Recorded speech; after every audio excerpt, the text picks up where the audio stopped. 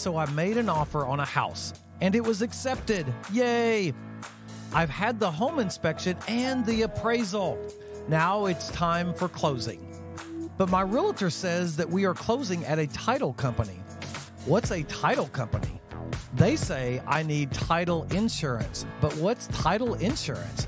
Do I really need title insurance? What's the difference between a standard policy of title and an enhanced title policy? What does this title insurance cost, and are there other expenses with my closing? What's a split closing? These are just some of the questions that I'm going to ask our guest today. I'm Eric Hutchinson, and I'm the principal broker and owner of Hutchinson Realty. Welcome to episode 12 of Real Estate Talk for Northwest Arkansas. I have my co host Cole with me today, and we have some special guests today. So, welcome, friends. I have already introduced myself, so let's go around the table and let the listeners know who's here. Hey guys, I'm Cole Eady, realtor here with Hutchinson Realty. I've been a realtor for almost a year now, and I've lived in Northwest Arkansas for almost five years. Hey, Cole. Hi, I'm Jennifer Holmstrom, and I've been with Waco Title for five years and have been living in Northwest Arkansas for the last eight. Hey, Jennifer. Hi, I'm Angelina, and I'm a closing agent with Waco Title Company. I've been with them for a little over a year now, um, and I am a two year resident of Northwest Arkansas. Hey, Angelina. Welcome, guys. So glad that you decided to join our podcast today. I'm really excited about our topic. But before we get into our topic, I always have Cole do our weather report. It's not really weather, but it's real estate weather. And so, Cole, tell us how many houses are for sale in Northwest Arkansas? Thank you so much, Eric. Well, guys, as of today, June 6, 2023, there are currently uh, 1,488 homes for sale in Benton and Washington counties, which is a decrease of 36 homes from this time last week when we had our podcast. However, today I'm only going to go over the six largest towns. And so, first, I'm going to start with Bella Vista. Bella Vista currently has 184 homes for sale, 97 are new, and 87 are resale. The median list price is 411 411,000 and the price per square foot is $199.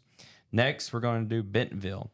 Bentonville currently has 177 homes for sale, 64 are new and 113 are resale. The median list price is 569,000 and the price per square foot is $219. Next, we will do Centerton. Centerton currently has 101 homes for sale, 80 are new, and 21 are resale. The median list price is 429,000 and the price per square foot is $202. Next, we will do Rogers. Rogers currently has 154 homes for sale, 33 are new, and 121 are resale.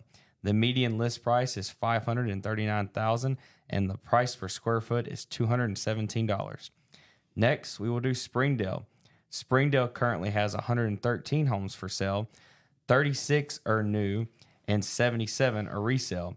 The median list price is 465,000 and the price per square foot is $194. And next we will do Fayetteville. Fayetteville currently has 198 homes for sale, 72 are new, and 126 are resale. The median list price is 477,000 and the price per square foot is $208. And finally, with all towns, there are currently 927 homes for sale, 382 are new, and 545 are resale. The median list price is 475,000 and the price per square foot is $205. Hey, Cole, thank you so much. It's really interesting to me to see how our economy has even though economy is adjusting, it doesn't seem like our prices have really adjusted a whole lot in about the last eight or nine months. This time last year, we kind of reached a peak in the summer months. In fact, I was sharing in our sales meeting that Rogers had 16 houses that sold over a million dollars and three of those were over $2 million. And so it kind of skews our data a little bit whenever I'm looking at the Rogers data. But man, there's just not a lot of affordable housing. It's just incredible to see that. And our inventories keep going down. I'll, I'll, uh, last week, we actually went down in the amount of houses from last week to this week. But the week before last, we had actually gone up a few houses. We're like, yay, it's finally starting to increase. But then uh, they fell back down this week. So anyway, it's still a seller's market, but we're still not seeing a lot of multiple offers because of how high the prices are. So uh, speaking of prices and you know buyers looking for homes, I'm going to go over just uh, real briefly the int- uh, the interest rates, the mortgage interest rates. I looked these up this morning, and uh, we're still uh, 7.375 for a conventional 30 year fixed loan and uh, 15 year fixed is a 6.375 an fha 30 year is 6.75 and a VA 30 year is 6.75. So we have not seen a lot of break in our interest rates, which really in, impacts our market. If the interest rates would go down, it would really, uh, you know, help to sell our homes even faster. But they have remained high, and the higher they go, if they get up back up around eight percent, then we're going to probably see some prices go down, and we'll probably see uh, it taking longer to sell a house. So anyway, that's kind of uh, if you want to call it the real estate weather report and what's going on.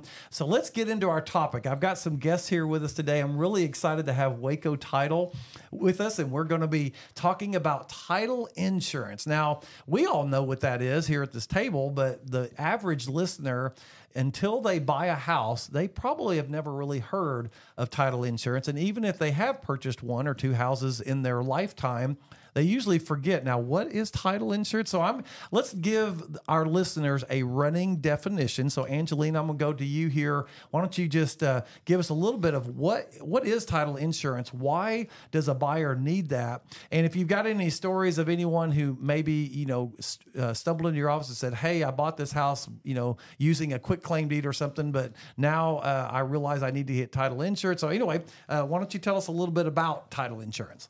Yeah, absolutely. So, title insurance protects your property rights for as long as you or your heirs own the home. So, it protects against any defects that may have come up, um, and it assures that you have received clear title for your property.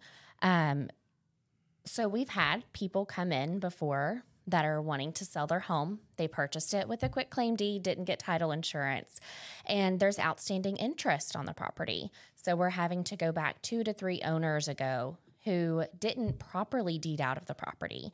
Um, and we have to go back, find these individuals. Um, if they're deceased, we have to find their heirs for them to deed out so we can issue clear title to that new owner. Yeah, so let me ask you a question in relation to that. And I'm kind of, I know that I've told you guys what order I was going to ask the questions, but uh, you already mentioned quick claim deed. So for someone who doesn't know what a quick claim deed is, explain that. So, a quick claim deed is just a deed that transfers the property. There's not been a title search done, there's no title insurance involved. It's just a deed transferring property from one individual to another. Yeah. So, I had a deal years ago where I had a buyer and we were buying, the buyer wanted to buy this new construction house and it was a beautiful home. It was already completed. And so we were moving forward. Well, the builder bought the lot that he built the house on from his uncle.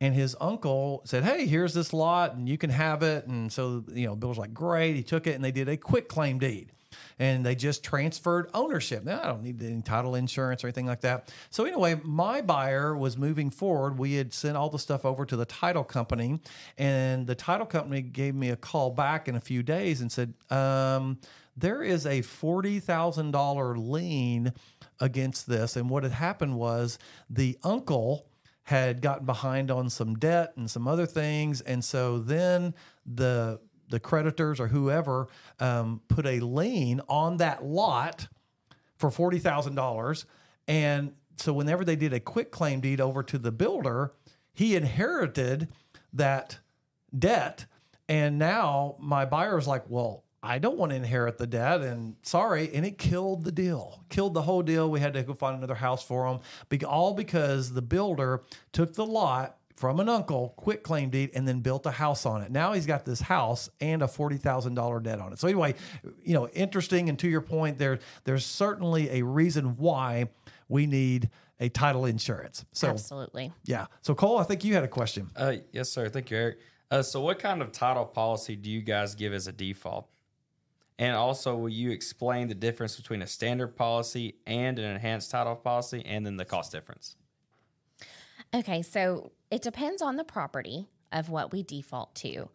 Um, so, when talking about a basic and an enhanced policy, if it's a primary residence, one to four family dwelling, it has to be purchased or owned by an individual or a trust. We automatically do default to an enhanced policy because we want your asset to be as insured and covered as much as we possibly can. Um, investment properties, we default more so towards a basic policy. They don't offer the enhanced policy for that. Um, for an enhanced policy, it covers a little bit more, of course, than the basic. So the enhanced covers access, it covers survey issues, zoning issues. If there are types of structural removals, so let's say somebody decides to build a shed on your property later on, we cover those legal costs to take care of that type of situation. So for the cost, excuse me, for the cost of that, so if you're looking at a $100,000 purchase, which of course is not something common that we're looking at today, um, your basic policy is going to cost roughly around $365. Your enhanced policy is roughly going to cost about $458 and some change. Of course, depending on the underwriter that is used. So, I mean, you're looking at maybe a 50 to $100 difference. Of course, if the purchase price is increased, there could be an increased difference in that. That's kind of what you're looking at. So that's really interesting. Um, you know, I don't think most people know that there is a standard and an enhanced. And I will tell you, we do a lot of closings. I know you guys do as well, but we do a lot of closings every year, and many times with other title company. Sorry that we don't always use you, and it's not us really; it's our client that has the choice. But I will tell you that sometimes other title companies only give a standard policy. That's just what they do standard, and you have to remember to ask for an enhanced policy. So I think it's really awesome that you guys give an enhanced by default on a you know residential property that's not investment or trust. I think that's really awesome because there is, and I know that the listeners can't see this sheet that I'm looking at but holy cow, there's got to be at least 15 items here that the enhanced policy covers that the standard does not. And so I kind of want to ask you, Angelina, you had mentioned the, um, you know, we talked earlier before the podcast about encroachment.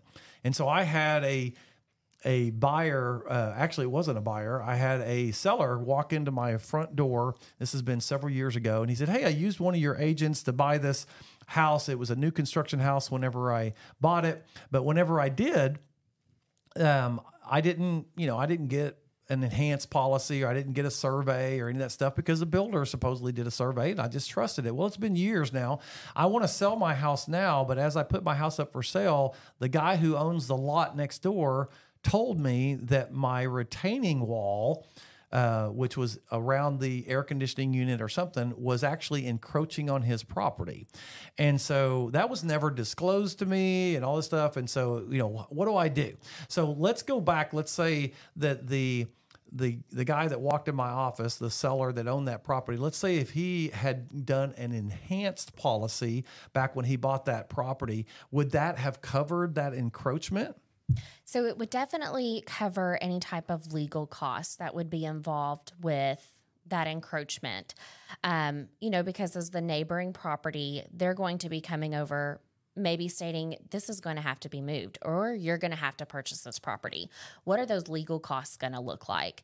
If an enhanced policy was issued, we would cover those legal costs to take care of those issues for the customer. So the owner of the house, if he went back to the builder and said, "Hey, you know, you got you you built your retaining wall across the the border and I would like you to take care of this.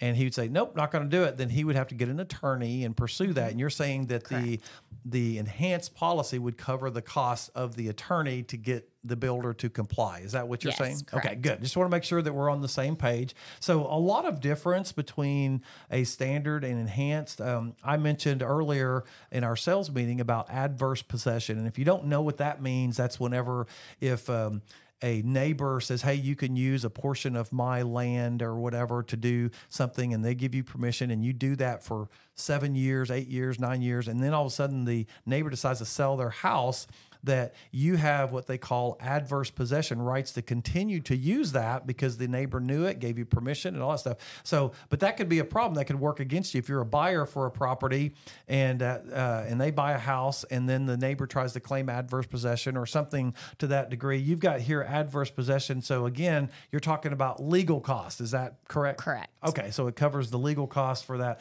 But holy cow, a lot of different things here that it covers. So very, very interesting stuff. So Cole, did you have another question? Yes, sir. Thank you, Eric. So, uh, if a person owns a home and then gets married, can they sell their property without their new spouse being on the deed to the property? This is always a fun one because in Arkansas, we still have to recognize dower and curtesy rights. So a spouse cannot sell a property without their spouse signing with them. Um, you know, let's say Billy Bob, he's in title as a married person. His wife, Sally, is not named in title. But since they're married, Sally has marital interest in the property.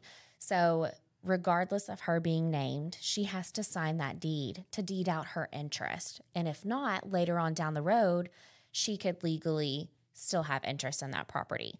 Doing a title search, that's how we find those, those types of information. And yes, they would both have to sell, the, sign the deed to sell the property.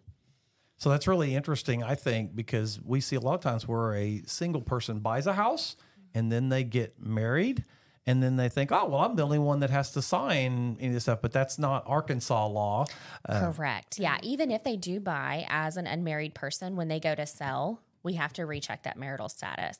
As soon as they're married, their spouse automatically inherits marital interest in the property. So does that show up in the title search or where do you, I mean, how, how do you go about doing that research whenever you're doing, so someone says, hey, I'm going to sell this house and I bring you a contract and you got that and it's only got the guy's name on it and his wife's name's not on there. How do you discover that?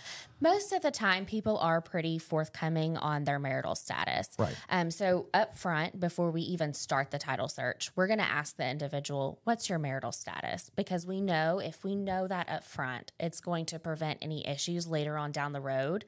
We're not going to have to circle back and fix issues before closing. So, most of the time, people are pretty forthcoming. If not, there are usually red flags that will come up that will show whether somebody is a married individual or not.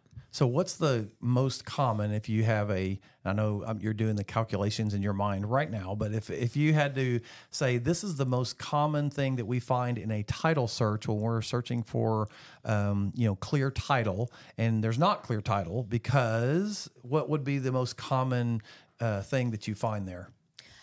Most of the time, it is a property that was deeded with a quitclaim deed, and there are additional outstanding interest previous by previous owners. That's what we see more often than not for unclear title. So we had uh, years ago. My, I've been in the business for 27 years. My father used to own the the business, and we used to do when people would want to come here and uh, in Bella Vista where they wanted to golf. You know, we've got seven golf courses and lakes, and they wanted the membership privileges, and so they would want to buy a lot. And so we had at that time, lots were really hard to sell. I mean, we would have a hundred lots for sale in my office alone. Not to mention there were you know probably a thousand lots for sale, and sellers were having a hard time selling lots. So anyway, we would sell them relatively cheap, and and a uh, a buyer would say, "I just want membership privileges," and it's okay, well, the seller goes, "Yeah, I agree to sell that." Well, um, the problem comes is if they ever want to build on the lot, and they want to build on the lot, then they've got to get they've got to be able to pass clear title. And we had a deal happen. And this is when we stopped actually selling lots with a quit claim deed because the seller, when he came here years ago, Cooper Homes that developed Bella Vista, they brought people in on these little three day vacations and then they would put them under the gun and say, hey, you need to buy this lot. And so they bought this lot, but they were here with two other families. And so there were three of them that bought the lot together. And keep in mind, this was back in the 70s or 80s. And so the guy that wanted to, or the person that wanted to sell the lot was one owner, but there were two other owners and they were both passed away. So you got to go to yep. the heirs, you got to go to all this thing. Yep. Anyway, long story short is that the person could buy the lot. I mean, the quit claim deed was fine. They had membership privileges, but they could not build on the lot and they could not pass the lot with title insurance Correct. And I mean, and that kind of circles back to, you know, what is title insurance? We do have two different types. We have an owner's policy and then there's a lender's policy. So when someone goes to build and they're getting a loan on that uh, property, that's when the lender's policy comes into place because that is protecting the lender's interest in that property because they technically own that asset whenever you have a mortgage on it. So that we have ran into that before where people go to build and they can't because they bought it with a quick claim deed. They don't have clear title. And now we're having to work through trying to clear that title so they can get a loan to right. build. And it could take time. Absolutely. Trying to communicate with you know people that their heirs that you know the, the original buyer buyer passed away and then their kids got the inheritance and exactly. sometimes they didn't even know it and yep. agreeing to sign something i'm not going to sign anything and so anyway i will tell you as a realtor that we highly recommend getting title insurance and not transferring property by quick claim deeds for the very reasons that we were talking about. Well, let me ask you, let's talk about costs because um, buyers are always concerned about costs. And a lot of times they get to the closing table, and part of this is the realtor's fault that we don't disclose. We need to disclose, Cole. I'm talking, I'm a principal broker, Cole's my agent. So I'm talking to you. We need to disclose what costs the the buyer is going can expect. And so you've got the loan. They've talked to a, a, lender. The lender's giving them their closing costs, and sometimes they include in all of the other costs, whatever. But you get the closing table, and they're like, "Oh, what is this?"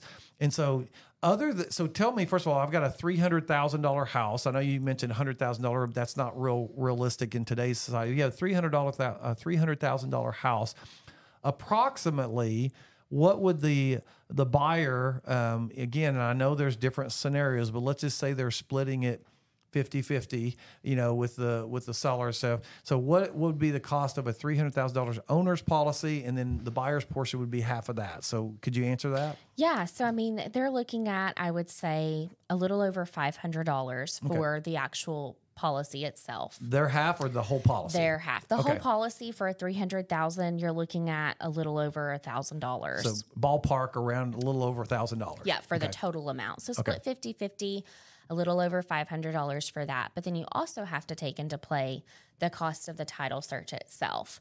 So you have to consider that, which for us at Waco, you know, that's around 250 per side if okay. it's split 50 50 and then you have to consider the actual closing cost for the settlement closing fee um, and that's roughly about 350 um, and again per client right per so side buyer yes. pays 350 seller, seller pays, pays 350. 350 okay gotcha. yep and of course we run into some situations where sellers want to cover all costs buyer want to cover all costs but yeah that's 50 50 um, and then recording fees so you have to think of recording the deed. And so that's roughly around $25. It's based off of how many pages the deed is. So if there's multiple sellers, um, let's say that we have to send it to four or five different people to sign. Of course, that's going to increase just a little bit. Um, but as the buyer, just for title purposes, those are the fees that you're looking at. So uh, maybe the listeners don't know. I know what it is, and maybe you guys do. I'm sure you do. Um, Arkansas revenue stamps. What in the world are revenue stamps? And is that also one of their costs? Yes, that is a cost. So that is the transfer tax that the government likes to collect anytime a property is transferred. So I always refer to it uh, to, to try to help buyers understand when you mail a letter, you always put a stamp on your letter, yes. and that's a requirement. You can't just stick it in the the mailbox and expect it to get delivered without a stamp on it. Well, whenever we record deeds at the courthouse, they have these little stamps on there and they're $3.30 per thousand. Isn't that correct? correct? Okay. And typically the buyer and the seller split the total cost of that. So Cole, today you've got a closing, and you'll see on there, you know, the revenue stamps, and then the buyer pays usually half, and the seller pays for half of that. But it's three dollars and thirty cents per thousand. So if it's a, you know, um, thousand dollars, three dollars thirty cents. If it's a hundred thousand dollars, it's three hundred and thirty dollars, and then that would be split. So you know, you exactly. just go on up. So anyway, but that's some of the things that buyers don't calculate whenever yes. they're doing that. And I don't know if you've ever been had a closing where a buyer walked in and goes, "What are these fees?" Yes, absolutely. Yeah, it's a little bit. Uh, you don't want that at closing, so you usually yep. want to do that. Cole, did you have any other questions? Yes, sir. Thank you, Eric. Um, so, are there any advantages to a split co- uh, closing if the other party to the contract is using another title company? So, most of the time, closing at the same title company is the best case scenario. You know, we know that everybody has their own preference of who they would prefer to use, um, but advantages for a split closing. I would say there's almost more cons than pros. Let's just be honest here.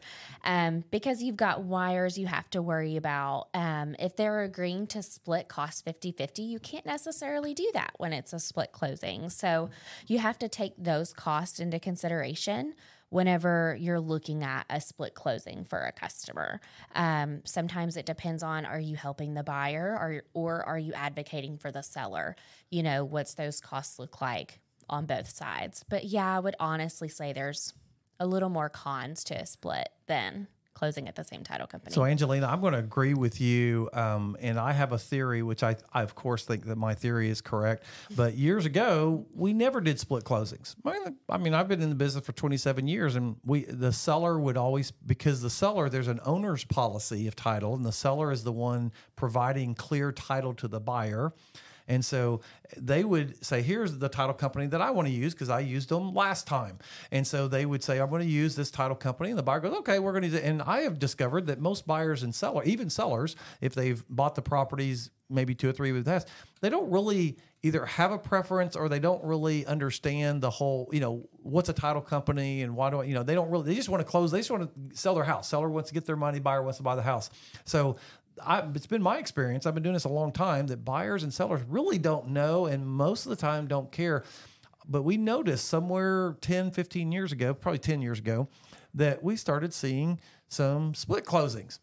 Well, I noticed a correlation between that time period and when real estate companies were buying title companies. Yes, we do see that a lot. And yeah. so if a real estate company owns a title company, guess what? They're probably going to recommend that their client uses that title company. Now, the buyer may say, Hey, I want to use Waco, or my realtor is recommending that we use Waco because they give an enhanced title policy, right? You know, right from the, the get go.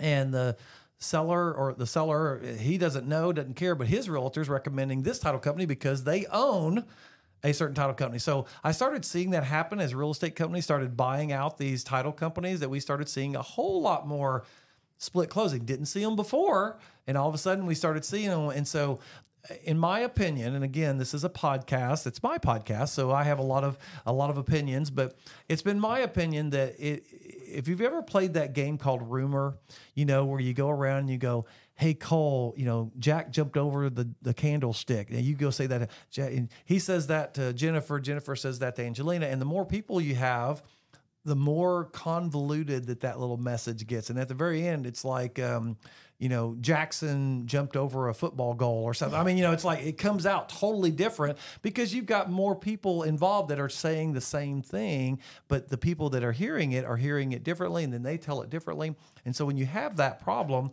that happens also in real estate. The more people, the more that you have involved in the transaction, sometimes it gets convoluted.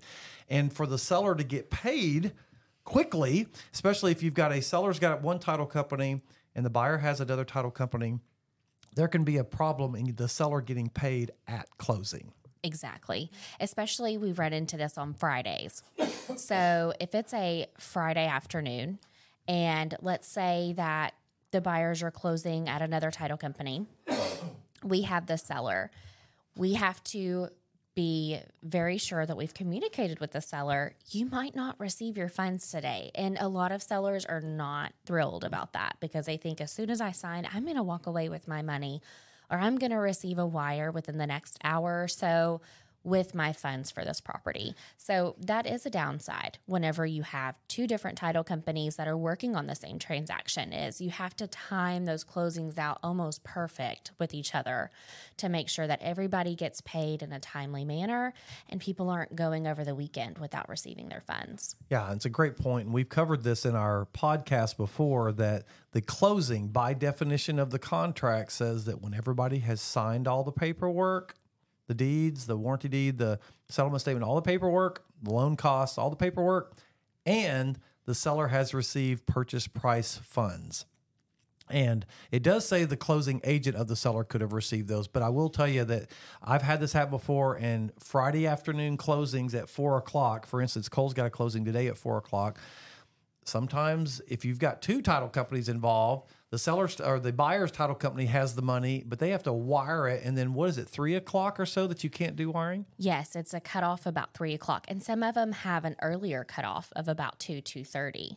So ours is three. Sometimes we can squeak them by before three thirty, but yeah, there's a cutoff. And then it's in limbo until the next day, right? And if it's on a Friday, Saturday and Sunday are not business days, and it's Monday before the seller gets paid. And sometimes the seller's not real happy about that. And sometimes we have to do rent we've charged the buyer, or sometimes the seller goes, "Sorry, I, you can't get into my house until I receive the money."